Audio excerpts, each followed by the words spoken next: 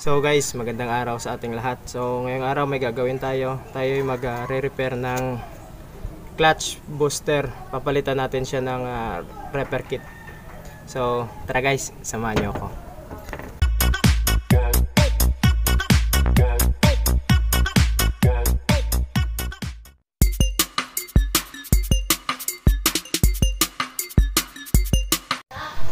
Guys, ito yung ating clutch booster. Tatanggalin muna natin yung apat na bolt with nut na number 14 sa ating clutch booster para mahiwalay natin yung uh, ulo niya at saka yung kanyang katawan.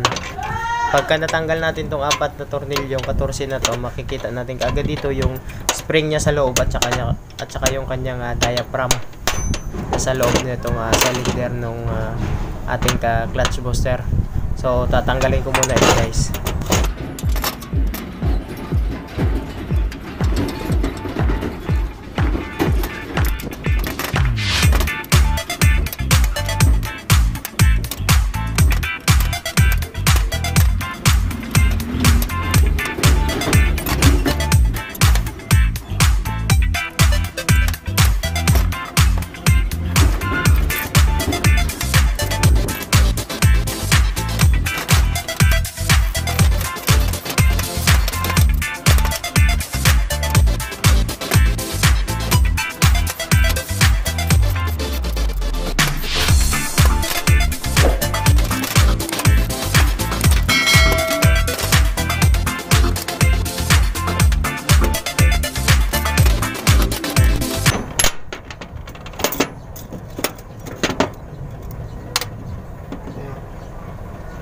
So ito, nabuksan natin siya guys. Ito yung pinaka-spring niya sa loob. Tapos, ah, ito yung kanyang ah, pinaka-diaphragm sa loob.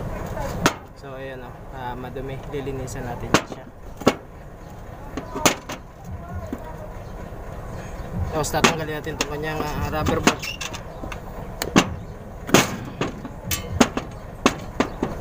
Tapos ang susunod yung tatlong tornilyo ditong G sa may ah, ulo ng booster.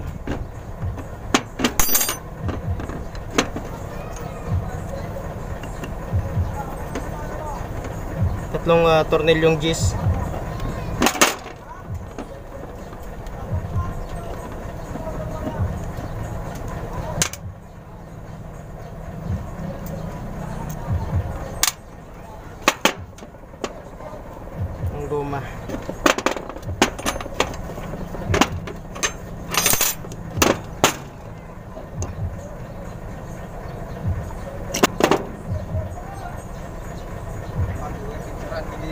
ha lipat.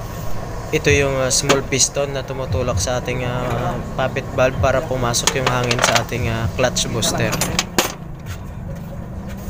So tatanggalin ko itong uh, snap ring dito, yung lock sa bungad ng ating uh, booster para mapalabas yung uh, yung piston na siyang uh, yung big piston na siyang tumutulak sa ating uh, push rod para tumulak sa ating ah, clutch. So susundutin natin siya dito sa may ah, likuran niya.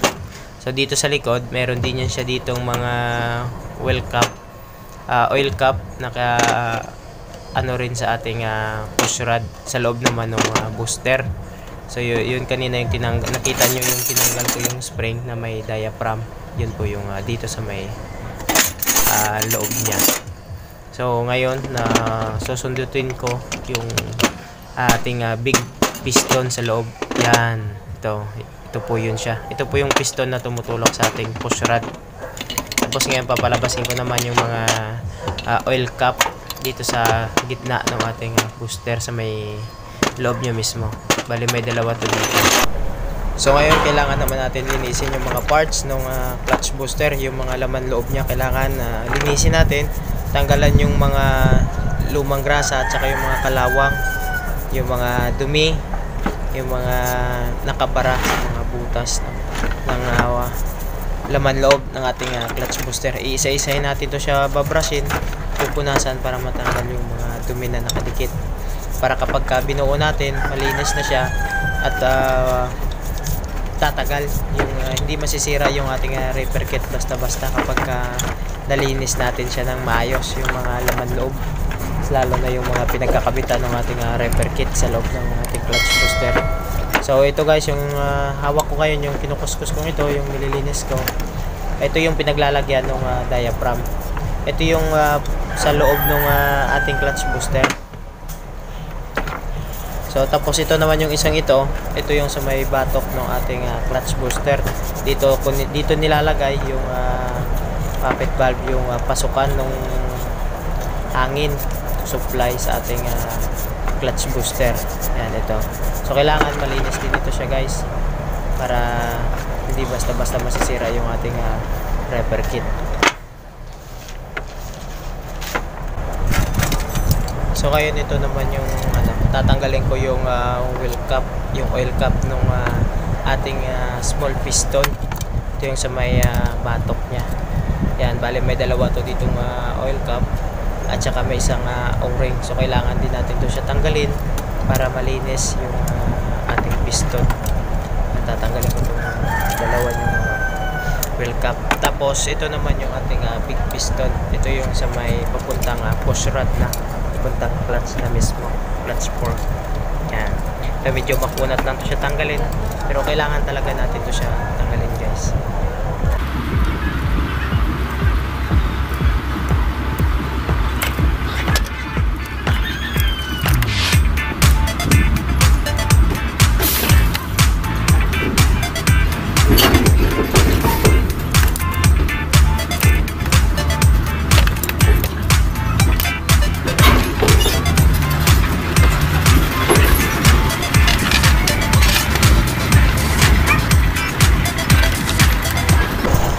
So, kunti na lang yung uh, ating kailangan linisin ng mga parts niya guys. Para pagkatapos natin ito siya mahugasan ng diesel, mabanlawan natin ng tubig at uh, maumpisa na natin siya pasok.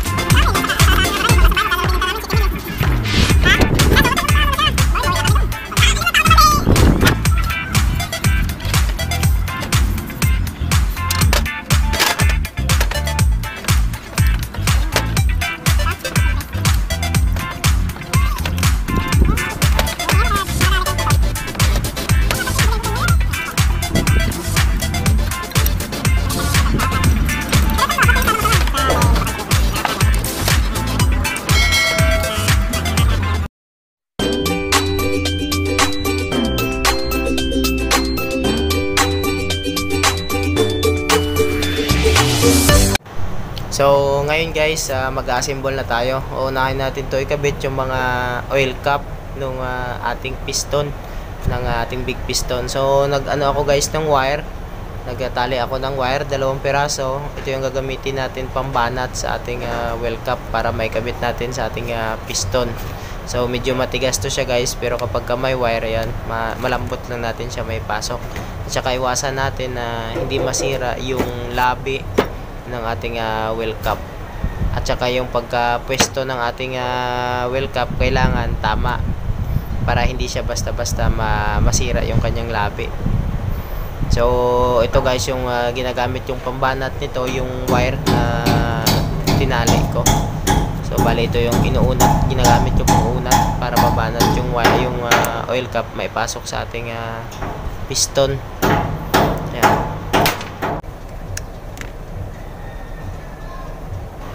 So, ayos na. Naikabit na natin siya. Ngayon, inaayos ko lang yung uh, labi ng ating uh, oil cap. Yung pagkakapwesto niya sa ating uh, piston. So, ngayon, yung uh, kakabitan naman natin ng uh, oil cap. yung ating ah, small piston. So bali may dalawa rin to siyang oil cap. Ah, magka magkata, mag, magkatalikuran tong dalawa. So ito gumamit ako ng snap ring para pang expand ng ah, oil cap para madali siya maipasok. Yan. Yung ah, isa lang naman to dito yung medyo mahirap ipasok guys. Pero pag naipasok na natin yung nasa loob ah, madali na itong sa bungad. Mas ah, mas madali ito ipasok. Tapos ah, lalagyan natin siya ng ah, kanyang o-ring. Yan. So bali may o-ring to siya dito guys na isang peraso. Huwag nyo kakalimutan na lagyan. yan kailangan meron talaga to siyang ah, o-ring para hindi sumingaw yung ah, hangin dito sa ating ah, batok ng booster Pagkatapos, ah, ito na yung ah, clutch booster head assembly. Ito na yung ating uh, bubuuin. Unahin natin to yung ah, parang ah, ah, yung crown. Crown para sa wheel cap ng ating ah, repair kit sa batok. Pero bago tayo maglalagay niyan, kailangan ah, maglalagay tayo ng ah, grasa. Sa repair kit guys, may kasama na tong grasa. Yan. Ito, lalagyan muna natin dito siya sa loob para maganda yung ano ng repair kit sa loob. Hindi siya basta-basta mas, masisira pagka may grasa. Tapos ilagay ilagay natin yung ah, kanyang ah, oil cap. Pagkatapos niyan guys may isa pa ditong ah, oil cap din na yung may housing yan ito itong hawak ko ngayon. Papasok natin siya. Magkatalikod yan silang dalawa. Yung isa nakataob itong isa nakatihaya. So papasok natin to siya guys. Ingatan natin na wag masira yung labi niya. Kailangan pagka medyo matigas siya ipasok. Ah, yung luma yun ang gawin nating pang punson tapos doon tayo magpupukpok sa luma para pumasok siya ng ah, tama. Pagka naipasok natin siya guys mayroon to siyang ah, washer pagkatapos ng washer maglalagay tayo ng kanyang ah, snap ring lock para hindi siya lumabas yan so ito yung kanyang ah, flat washer yan, dito natin siya ilagay sa itaas. Tapos, ah, sa ating ah, repair kit, may kasama na yan siyang ah, snap ring lock. Ito. Kaya kailangan natin din ng ah, pang ano na snap ring. Yan. Ito. So, okay na to siya guys. Kailangan nakalapat to para hindi siya matanggal. Yan. Buo na to yung ah, sa loob. Tapos, ah, ngayon, yung ah, ating ah, big piston bago natin din ipasok dito sa kanyang cylinder kailangan lagyan din natin siya ng lubricants na grasa para ah, hindi masira yung ating ah, rubber yung ah, oil cap ng ating ah, piston lalagyan natin dito siya para malambot ipasok hindi siya sasabit hindi basta basta mapunit yung labi pero guys, tatandaan po ninyo na yung may butas to siyang apat na maliliit, kailangan yun ang nakatutok sa loob. Yung isang butas lang na malaki, dito sa bungad. Tapos ang pagpasok nito guys, huwag nyo siyang pupersahin. Kailangan alalayan nyo siya, medyo nakadiinan nyo ng konti, tapos paikutan nyo ng ah, tulak yung labi ng goma. Ito, bago itulak. Yan. Pag nakapasok na yun guys, ayos na yan. Tapos may meron dito siya dito nga snap ring lock dito sa may bungad. Kakabit natin to siya dito para hindi matanggal o hindi lumabas yung ating ah, piston sa loob ng kanyang ah, cylinder. Yan. Yan, tutulak natin siya palabas para hindi mapasukan ng ah, dumi. Hindi, hindi ah, kalawangin yung sa bungad. So tapos ito ngayon kakabit na natin yung diaphragm dito sa kanyang ah, diaphragm sleeve. Yan, Lalagyan din natin siya ng grasa para hindi rin masira yung labi. Ang purpose kasi ng grasa kaya nilalagyan yan para hindi hindi basta-basta masira yung guma, yung labi ng guma. Yun ang importante kasi diyan eh. Ang pagkakalagay nito guys dapat yan nakaharap sa kwitan, hindi yung nakatingala. Kailangan nakaharap siya sa ibaba. Tapos ngayon, ah ilalagay na natin yan siya sa ah, clutch booster housing mamaya. Huwag nyo kakalimutan guys na dito sa may ah, ulo ng ating ah, booster, meron yan siyang malaking o-ring. Ah, wag nyo, wag na wag nyo yung kakalimutan kasi sisingaw yung hangin dyan. So ngayon dito na guys, bago rin natin ipasok yung ating ah, diaphragm, lagyan muna natin ng ah, grasa yung ating ah, clutch booster diaphragm housing. Yan, para pagka akyat baba ng guma, hindi basta-basta masisira yung kanyang labi. Kailangan talaga meron yan siyang grasa.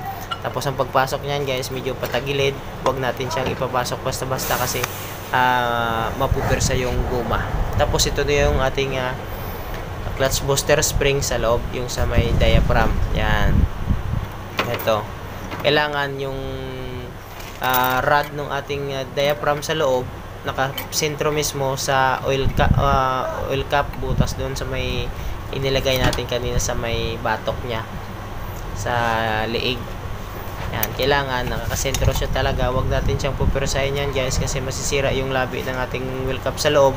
Diyan mag-uumpisa na magkaroon ng leak ng uh, brake fluid sa loob. Pagkakaroon ng brake fluid dito sa may uh, diaphragm. So pagka nagkaroon yan, umpisa na na sasama, masisira na yung ating uh, clutch, clutch booster. Magkakaproblema na. So, yan, ito, lalagyan ko siya ng vice grip kasi wala akong katulong mag ano eh, magkabit ng mga tornilyo niya na apat na pirasong 14 uh, lalagyan ko siya dito ng uh, vice grip para at least may ipit na siya so ngayon ikakabit na tong apat na pirasong uh, 14 paikot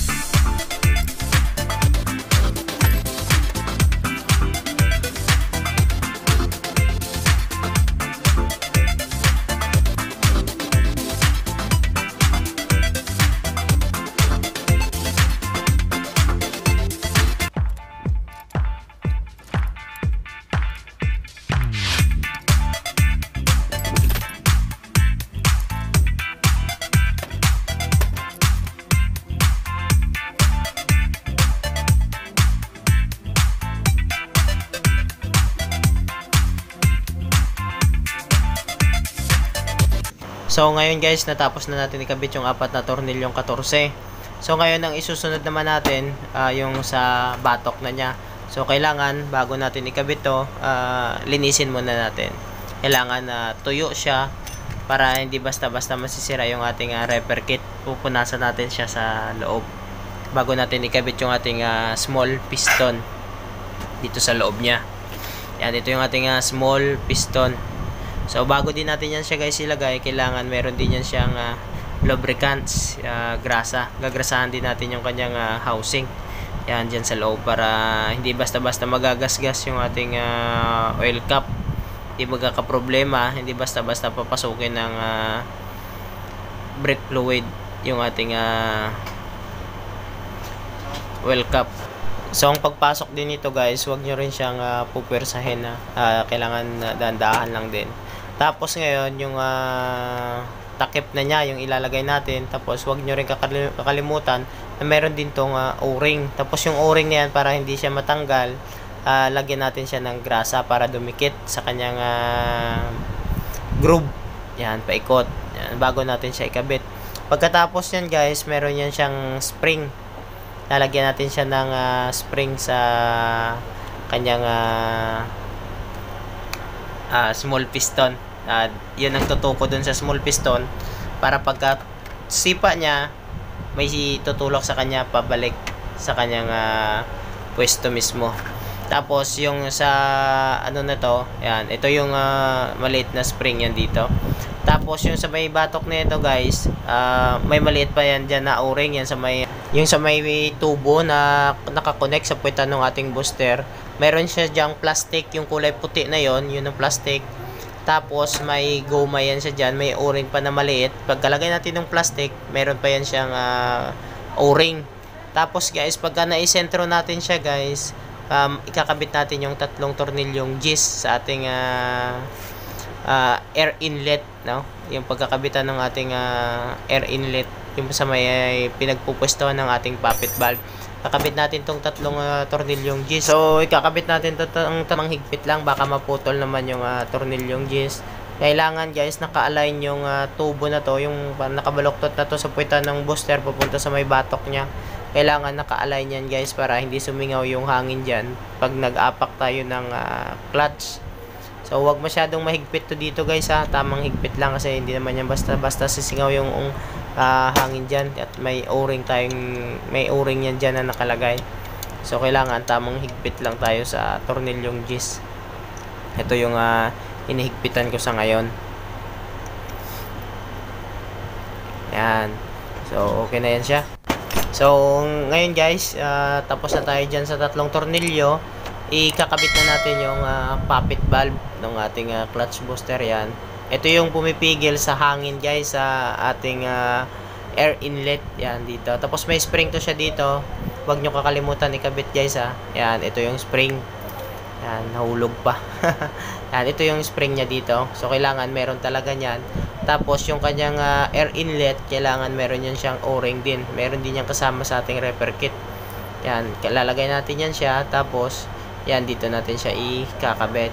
Yan, dito. Ito yung ating ah, air inlet ng ating ah, clutch booster. Yan, higpitan natin siya na ngayon ng ka- katala. Yan. Hindi naman yan siya dyan na basta-basta sisingaw gawa ng may o-ring. Tapos ito yung ah, goma, yung takip sa ating ah, ah, blade valve. Kailangan meron yan para hindi pasukan ng dumi. Tapos ito ito yung ating ah, rubber bolt sa so, kinakabit ko lang itong rubber bolt. Tapos na tayo guys sa pag-assembly at pag-repair ng ating clutch booster. So yun guys, ah, natapos na tayo magbuo, no? Mag-repair ng ah, clutch booster. So ngayon guys, ah, sana may nakuha kayo at ah, may natutunan kayo na kung paano magbuo at kung paano tayo makatipid sa clutch booster. So guys, kapag ka bumili ka nito, ah, mababa nito na sa 4,500 or 5,000 yung assembling ah, clutch booster. Pero kapag ka repair kit lang, mga nasa more or less 2,000 or 2,200 ma Japan Japan na na ano yun na repair kit. So halos kalahati yung natipid natin dito guys. So ito guys, ah, okay na to. Ganun lang ka dali. Kapag ka, hindi mo ganong kabisado guys yung pag ah, repair nito, ah, kailangan magpaturo o kailangan ma meron po tayong ah, magga-guide sa atin. Kasi masilan nito guys eh. Sa clutch ito ng ating ah, truck. Mostly ginagamit sa mga super great, puso, ah, mga giga, at Hyundai, Daewoo, mga ganito yung mga gu- gumagamit po ng ah, clutch booster. So, so yun lang guys, natapos na tayo dito. So, sana ah, may natutunan kayo at ma- may nakuha po kayong mga idea na makakatulong po sa inyong pagtatrabaho bilang mekaniko, may-ari ng truck, driver ng truck, at saka sa mga gustong matuto, sana may mapulot po kayong ah, tips and techniques. So maraming maraming salamat po sa inyo. Sa mga hindi pa po nakapag-subscribe sa aking YouTube channel, please subscribe, like, and share. At saka pakipress na din po ng notification bell para maging updated pa po kayo sa mga videos nating bagong gagawin. So maraming salamat. Ingat!